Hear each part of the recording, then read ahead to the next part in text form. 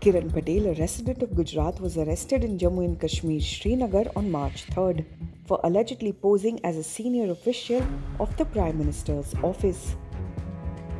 According to reports, Patel claimed he was an additional director of strategy and campaigns at the PMO and said that he had been asked by the government to identify buyers for apple orchards in South Kashmir.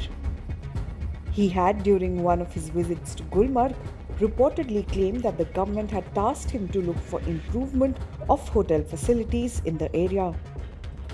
He also reportedly received Z plus security cover, a bulletproof SUV, and stay at a five star hotel during his visits.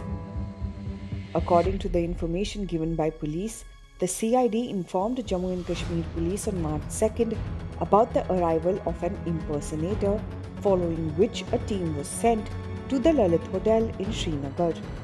The police statement says that Patel's replies to their questions were suspicious and he was then taken to the police station where he confessed.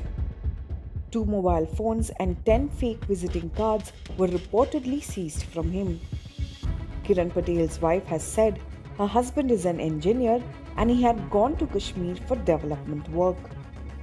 The alleged conman has a verified account on Twitter. According to his bio, he has a PhD from Commonwealth University in Virginia, an MBA from IIM Trichy, an MTech in computer science, and a BE in computer engineering.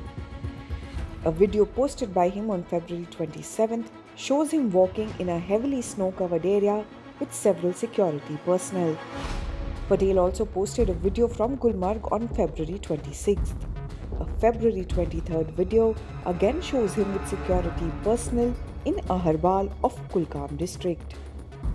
Also spread across his timeline are several photos from what appear to be high security zones like an army camp.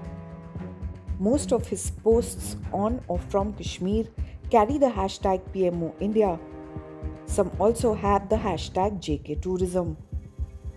Back in January, he posted pictures with several Kashmiris and wrote that since 2015, the people of Jammu and Kashmir have earned a special place in his heart, and he is happy that he now needs to visit Kashmir frequently before assembly elections in the state.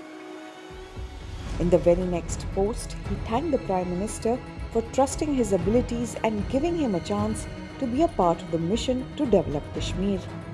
The police statement on his arrest also mentions that Kiran Patel has three cases registered against him in Gujarat as well.